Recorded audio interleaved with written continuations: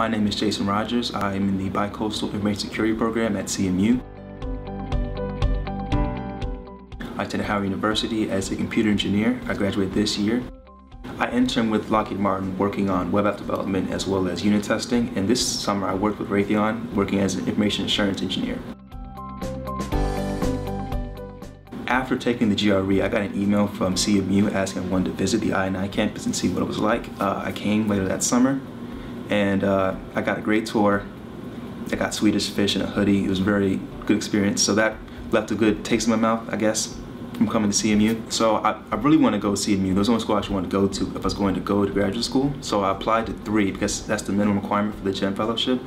Carnegie Mellon seemed to um, want me the most. They kept I kept responding to my messages and asking me how I felt about the program and what I, what would uh, affect my decision. Um, and also they responded about my fellowship money, free tuition at one of the top tier schools. That was a great, um, great moment for me. One thing about this program that stood out to me was the opportunity to spend a year in Pittsburgh and experience CMU culture and also spend another year in Silicon Valley exposed to Silicon Valley culture. They filmed Dark Knight Rises here. Walked past the building where they had the final fight scene with Bane. So that was a brief bit of, huh, that's pretty cool.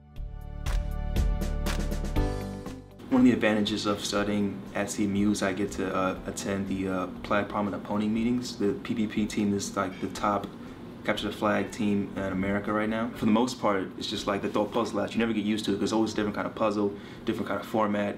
And um, once you get it, you get a sense of accomplishment.